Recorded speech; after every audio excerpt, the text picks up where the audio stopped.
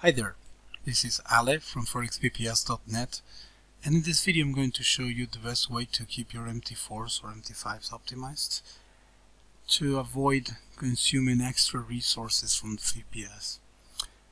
The first thing you're going to need to do is ask yourself how many charts and symbols are actually needed for your EAs to run automatically in your VPS.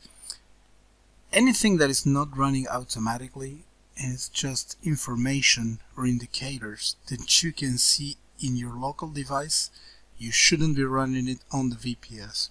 Why? Because at high volatility times of the market, the CPU resources will spike and it will affect your trading negatively. You want the fastest execution times possible, so you don't want to overload the VPS.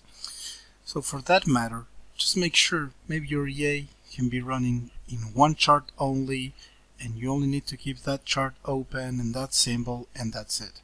So this is pretty much where this is headed to. If you see here I have four charts open. I have one indicator in only one chart. So I'm just going to close all the other charts. I'm going to right click in the symbols and click on hide all. Now I'm going to go to the tools options section. Under server, we can disable the news. Under charts, this would pretty much depend on your EA as just to ask, to ask your EA provider, but I would leave everything untick and a 1 in the charts bars. This depends on the EAs. Make sure that you communicate with your EA provider. And then under events, disable the events because they also consume resources. Uh, you can also disable the grid here, just uh, right click and click on grid or control G as it said here and this should decrease the usage of resources that your MT4 takes from the VPS. You might say that at this point it's not consuming a lot and then maybe you were checking it and it's just consuming 10% or 15% of the CPU or something like that. However, first of all, if you want more than one MT4s, it's convenient that they are up, much optimized as possible.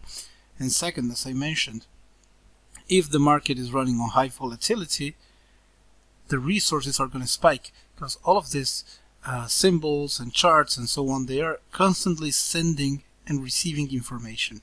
And when the market is very volatile, there's a lot of information being sent and received in a very fast pace so it's better to keep them optimized.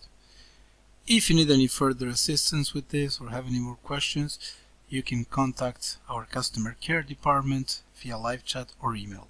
Thank you.